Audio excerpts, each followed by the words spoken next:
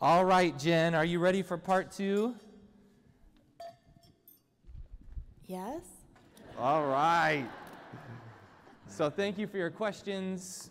Let's go ahead and get them up on the screen here. So, again, slido.com 789. We're monitoring on our phones. I'm going to throw on a 20 minute timer this time. 20 minute timer, perfect. Carved out a little more time in the service today. So that'll be our five minute warning. Okay. Slido. So there's a lot of good questions here, Jen. And I'm thinking, let's start off with something we actually talk a lot about in the Bible study that I lead every Sunday, which is how do we get past the misogyny in the Bible? Yep. So we've got polygamy, handmaids, mothers omitted from genealogy. Today we're talking about how anything that goes wrong is the woman that's blamed. Right. So how can we get past the misogyny and still hear God's voice in the text? That's a great question. Do you want to go first? All right. Love to hear your thoughts on that. Yeah, well, it actually relates to another question that someone raised in Bible study today, Jen, that Okay. they wanted to talk about today, which is just what is our view of Scripture in terms of these ideas of inerrancy or infallibility. And so you've probably heard these words before of inerrancy or infallibility. So the idea being that Scripture is literally true in all of its words even if it's making a scientific claim. So anything that it says would be literally true. And that's definitely not how the two of us understand Scripture. I think when you get yourself into this, this attempt to read Scripture very literally or a fundamentalist perspective, it is so easy to get yourself into trouble because you find yourself trying to justify or explain away a lot of really problematic texts in Scripture. But if you open yourself up to understanding the process of how Scripture was written and how the Bible was formed, it just gets you into this space where you can have a much broader understanding of the text that I think is really helpful. And so we understand Scripture to be what it is that it is a human document, that people were writing about their experiences of God, doing their best, like all of us, to try to understand who God is. And they were writing those experiences down as a community. And later they were forming Scripture. So a lot of the Old Testament was put together during the time of exile when the Israelites went into Babylon and they were afraid that their faith was going to be destroyed. And so they took their oral traditions and they put them down onto papyrus to preserve them, to say, we need to hold on to these stories and to these words. But we have to understand Scripture for what it is that there are human influences in the text, that humans are trying to understand who God is. And that Scripture is made up of so many different genres. The people who are writing the book of Genesis, for example, they know that those first 11 chapters are meant to be folklore and mythology. They're not sitting down to write a scientific text of exactly how the world was formed in seven days a couple thousand years ago. That's not even in their understanding or mind. And so when we do a little bit of literary criticism or source criticism, or for, these are just kind of scholarly biblical words where we have to study Scripture as a text and to know how it was formed and what the genres are, etc. Mm-hmm. And so that's how you and I approach Scripture. You know, uh, the idea of Scripture being inerrant or infallible is often defended using a verse from um, a letter to Timothy where it says, All Scripture is God breathed. And that term God breathed is actually the only time that word is ever used in Greek literature anywhere the word was made up for that text. And the basis of the word is just kind of a portmanteau, a smashing together of two different words, one for God and one for breath or spirit. And I think that when we read scripture, I do think that the Spirit of God is with us, guiding us, helping us to understand. That's why when we read problematic texts where there's misogyny baked in, I think the Spirit within us says, This isn't quite right. This doesn't make sense. This can't really be what God wants for us. And then when we read text where kind of the, the love of Christ or even the love of God in the Old Testament is woven through the text, and we read that and we say, This is the picture of God that I understand, I think that the Spirit is moving through us. Not that God is taking someone's hand and holding their, um, their quill to a scroll as they write, but instead that the Spirit is moving within us to use these sacred scriptures that the church has historically said are useful for our faith and we can extract from it. So, let me get to the actual question. you can't put two pastors on a chair and expect them to get through very many questions. Um, the misogyny. Oh man, it's problematic. So, in our Bible study, we joke all the time that we could spend our entire hour talking about the misogyny in the text every single week. And it's the same reason why there's so much violence in the Old Testament scriptures as well, attributed to God. We have to understand the ancient Near East, the milieu in which the Old Testament scriptures are being written, and to know that within this culture, at this time, that there was the patriarchy very alive and well, and that women were not elevated or respected or listened to or given a voice, and that these Israelites, just like the other cultures around them, would think that God was with them if they won their wars. And so they would go into battle saying, God is on our side, and justify the violence they perpetuated by saying that God ordained it. This is what those cultures did. And so we can't read it and think that the God we understand, the God of all time, is supporting this violence or supporting this misogyny. We have to understand the context that it comes from and the patriarchy that it comes from, which makes it really beautiful when the text has these subversive stories of women leaders and women in the genealogy of Jesus, etc. Did I leave anything? no, that was an amazing answer. I would have I would have said the same thing. I would just add that I I also interpret Jesus as you know God in the flesh, and His actions and words speak volumes to what I think we understand God intended for humanity. It's doing it again. I think. I'm gonna grab me that other mic. Um, and Jesus, I always say, was a feminist or a proto-feminist. So he has these great stories like talking to the Samaritan woman at the well, who's not only a woman, but a woman of Samaria who, you know, are enemies with Jesus' people. And so he, he definitely uh, subverts boundaries, he crosses boundaries, and women are very much a part of his ministry. Here we go. There's no distinction for him between um, men and women and, and their importance and their value and their worth. Uh, and then we also have these stories of that the women at the cross are the ones who follow Jesus all the way to the end when all of his male disciples abandoned him. The biblical writers wanted us to know that, and they want us to know that the first witnesses to the resurrection and, and the women who are at the tomb are women.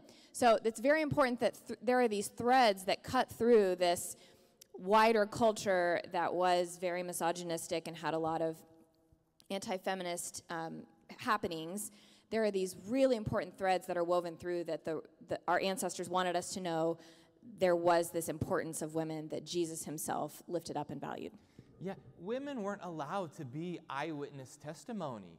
And yet, the first witnesses, the resurrection, are women. And so it is so subversive to say, hey, you want to follow this Jesus guy? Well, then you've got to listen to the women because no one else is. And that's pretty radical. And so I think that as we think about the, the question said, how can we hear God's voice? Is that God is in that text pushing back against these cultural mores and to say there's something bigger going on here that involves the people you think are weak, that you shouldn't listen to, that aren't relevant, because guess what? God's working through them. And so that's how we can hear God's voice in the text. Yeah, absolutely. All right, another That's like one? half our time already, but okay, okay. let's keep going. We're going to get to at least four this week. I hope I so. I promise. We'll try. All right, we've got several of the age old question here. Why do bad things happen to good people?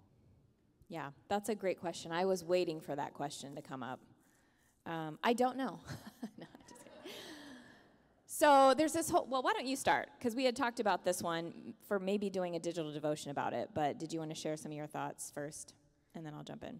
Yeah, definitely. So this is, this is the question of theodicy um, how is it that God's justice can be real in the midst of human suffering? And so, for a lot of people, this is a really problematic, difficult question. It makes people wonder how God can even exist to see so much evil in the world. And so, for me, theologically or philosophically, the way that I've always answered it, that's made a lot of sense to me personally, is that this concept of free will. As humanity, we are capable of creating such beauty in this world. We have seen incredible human kindness. We have seen artwork and poetry that moves our souls human bonds and connection and love. And all of that beauty is so incredible. And we have the choice and ability to create through that beauty. And the corollary to that is we also have the capacity for evil, to choose not to create beauty, to choose to harm our fellow human being. I think that is a reality that is part of free will, is that with the beauty, we have the capacity for evil, all of us. And so I think the question is a little flawed because what does a good person mean? That gets you into a lot of trouble when you think you've got good people and bad people because we all have the capacity for mistakes and sin.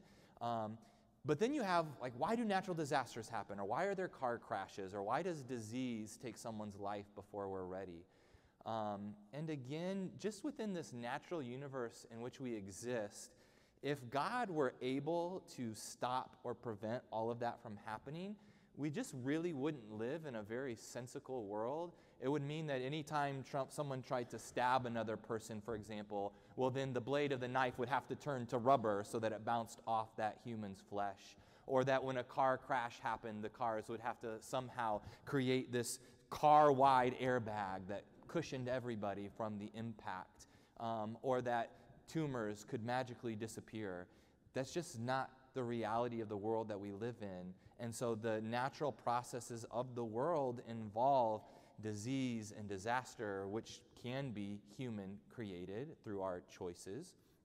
Um, and so that's, that answers the question for me. I don't know if it's satisfactory for everyone, but this idea of free will. There's actually also this idea that while God is all powerful, that God limits God's self because of free will so that God actually can't stop human free will, that God self limits in that way. That's getting into some deep theology. So if anyone wants to dig into that, we can talk more about that later. But all that to say, I think we have the capacity for good and evil, and that the natural universe we live in is, is not one in which um, there's disease or disasters or mistakes or accidents. Yeah again, I would say the same thing. I would also add that um, for me personally, I, I like the idea that although I don't, I don't think God causes suffering, I definitely think that that's just a part of this world that we're in and its brokenness. I do think that there are a lot of opportunities in the midst of tragedy and suffering for us to grow spiritually, whether we are the person who is suffering or whether we're the caretaker of someone who's suffering. I think there there is an opportunity there for deep soul searching and deep soul growth. Um, and I would also say that this is a question that our ancestors have been wrestling with since the beginning of time. So the entire book of Job is this question. Job is this blameless, wonderful person, and yet disaster befalls him. And the story, which is understood by biblical scholars to be like a myth, or you know, it's not a real story. It's in a, it takes place in a, an imaginary land called Uz. Um, God and the devil like make a pact. They're going to play a game with Job and the devil's like, "I bet if you cause a lot of suffering, Job will not praise you anymore."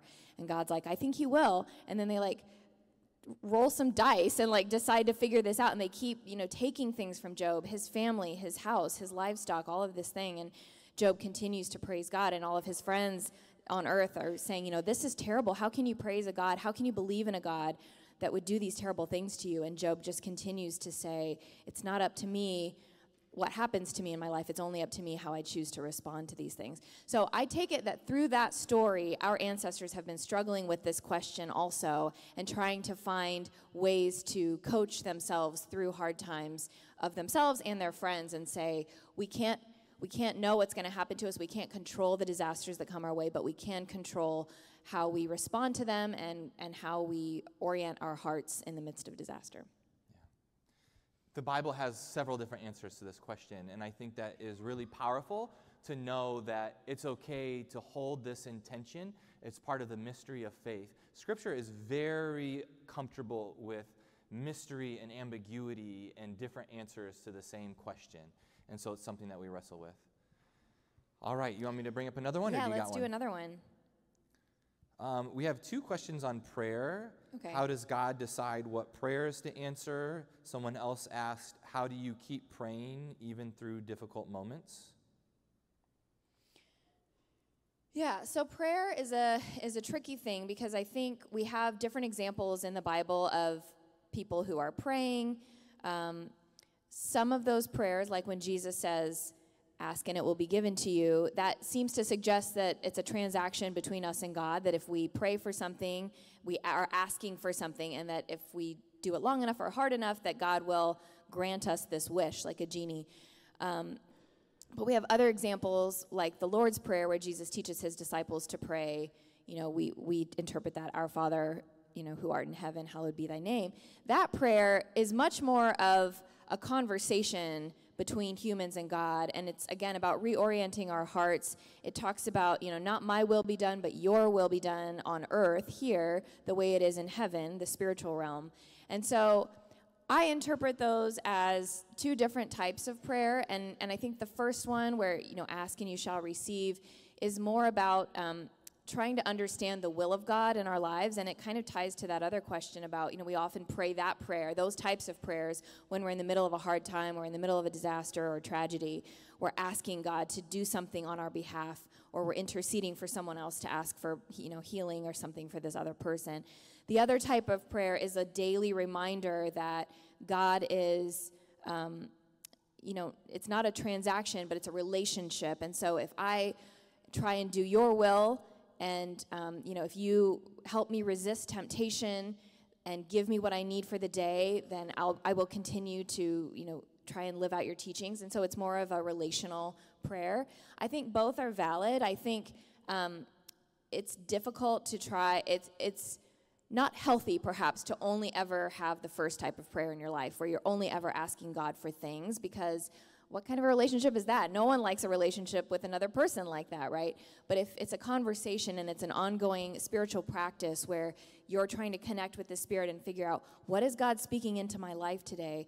What is God, you know, what is the Spirit guiding me to do today? How can I you know, sort of refresh my, my life and my heart today to bring more grace into it and to share more grace with the world. I think that's a much healthier way to incorporate prayer into our lives. Yeah, definitely. That prayer is, I love this verse um, that we should pray without ceasing. And that seems really difficult to do, but I think it helps us understand prayer in a new way where our life itself is a prayer that the fact that we're going through the world and we're living and breathing and interacting with everything around it can be its own form of prayer. And that when that happens, the prayer is less about asking for a request to be granted. Um, and that's when we get, that's when it gets really problematic. Talking with families where they've been praying every day for a child to be healed of a disease and it doesn't happen and they wonder do i not have enough faith and if i just had enough faith would it come to pass and that is a really tragic moment a really tragic scenario and i don't think that prayer is meant to ask for something and then receive it but instead it is a way for us to kind of be in the presence of god and have god shape our own posture and our own being in the world Anne Lamott, who maybe some of you read her book during the recent book group, but she has a book called Help, Thanks, Wow. That if we want to know what to pray, we can just pray for some help, give God thanks, and just say wow at everything we see around us. And so that can kind of be a way to guide us into some very simple prayers. Help, thanks, wow. I like it. All right, we got time for a fourth. We okay, are better than last I'm week. very proud of us. Uh, do you have one in mind? No, go ahead. Okay, I, I was interested in this one by Poetry Fan. Four minutes ago, they asked, How do you see the Bible in the context of so many other me- meaningful spiritual texts? Oh. For example, why do we still study the Bible when Mary Oliver poems exist? that is such a valid question. Uh, well, I would say to that that Mary Oliver poems would not exist if it weren't for texts like the Bible, because the Bible is one of the oldest texts in the world.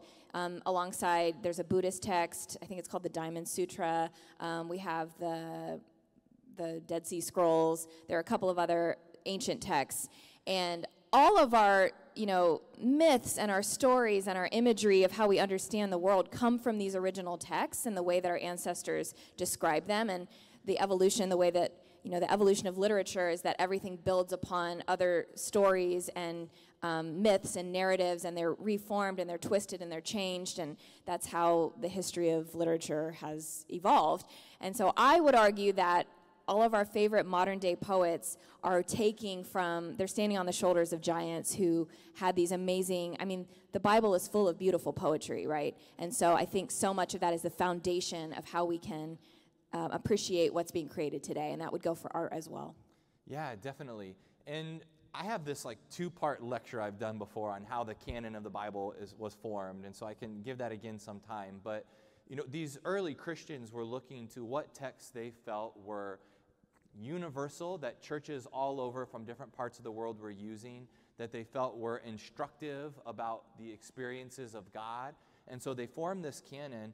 But honestly, if we were to open the canon again and say, where do we feel that there are texts that are instructive to us about the character of God, that are universal? We all feel that they're meaningful in parts of the world um, across the globe.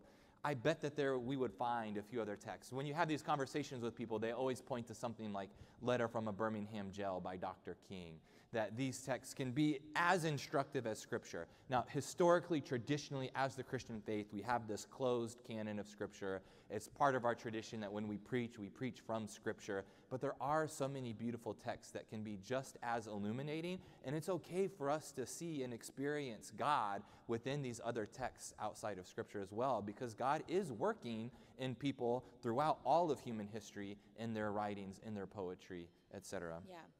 And I would also add so, Jacob and I are big fans of interfaith um, communications, interfaith relationships, and interfaith work. And I think there's so much beauty and power in celebrating our neighbors' religions and their spiritual texts and seeing where ours converge and where they diverge. I don't think that there's any um, negativity or anything dangerous about incorporating some of that into our own spirituality. My own story is that my, my grandparents on my mother's side were Buddhist, and they were converted to Christianity through Christian missionaries in Korea at some point in their young adult lives. And um, so I asked them once, like, what was that like? Like, how did you just completely set aside this ancient tradition that your ancestors and your family had worshipped for you know generations and start this whole new religion just based on these random people that came knocking on your door. And my grandma was like, oh, I think it's all the same. it's all about love. It's all about following, you know, the, the patterns of teachers who have gone before us who are teaching us how to be good to one another and how to care for one another and how to, to live love in our lives. I'm like, oh, okay. So I heard it once said by um, an interfaith work uh, specialist named Eboo Patel that it's sort of like if faith is a mountain. There are many different paths to get up the mountain. We're all just trying to summit together to find this concept of enlightenment or heaven or, or love. And so there's nothing wrong about looking at other paths and figuring out how um, what, what's working for that person getting up the mountain and what's not working for me and what, what is working for me that I could share with someone else who's struggling up the mountain. Yeah, and within our Christian tradition, like we very much believe in the role of Christ as this redeemer. Um, and at the same time, it would be foolish of us to think that God isn't revealing God's truths and love in any path or any religion. And so that is why interfaith dialogue is so important. Yeah, and you had referenced last week this book that Jacob and I both really like by Rob Bell, an author and speaker that we enjoy, and he, he, it's called Love Wins. And um, someone had, the, the book was sort of spurred on for him by this conversation he had or no it was a, an art project i think where they had hung um, pictures of spiritual influencers that they felt were important to the world and the history of the world around this room and everybody went and like um, i think wrote notes on it or something and someone wrote on a picture was it gandhi? Um, this is crazy he's, he's definitely going to hell and Rob Bell was like, I'm sorry, if you think Gandhi's going to hell, we have like a much deeper conversation that needs to happen here. Like, on what grounds would you say that Gandhi is going to hell? Simply because he didn't profess faith in Jesus Christ? That seems really trivial when you look at the, the breadth and the depth of the life of this man's work. So I think that's kind of where the conversation of interfaith starts. Yeah. And uh, we already filmed this coming Friday's digital devotion. So get ready for answering the question of hell. Of hell, yeah. so Um, all right, I think our time is up. I right, think our time is up. Is there anything else that's burning, or can we do some digital devotions in the Yeah, future Yeah, we'll keep talking Yeah. about these. And if you submitted a question we didn't get to, we would love to chat with you about it. Send us an email, catch us after a service sometime. We would love to continue the dialogue. This was really fun and just good to know what you all are thinking about. Yeah. I think there's some really important questions we need to keep addressing in there. Definitely. All right. Thanks, everyone. And so as the choir comes up, What were we gonna say? I was going to say, as the choir comes up, one easy question we can knock out. David, someone asked, How can I join the choir? so you should answer that as you get ready to sing. If you'd like to be a part of this wonderful choir, we rehearse after the service, 15 minutes after the postlude ends, in the choir room, which is back there. If you have a lot of musical and singing experience, it's a great group for you. If you don't, it's also a great group for you. We will ease you in. We've got lots of great leaders of various kinds to help with that. And it's a wonderful group. You can come talk to me or talk to Alex about it, and we can tell you more. If you've been enjoying watching these, these uh, bells being rung by our, our great uh, choral bells, as well as our visitors from from Hollywood. Um, the R ensemble meets on Mondays at 7 p.m. over in the bell room uh, across the way, and you can email me for more information about that as well. So, lots of great musical opportunities. My email is on the back of the bulletin, and always happy to talk and uh, offer suggestions and guidance.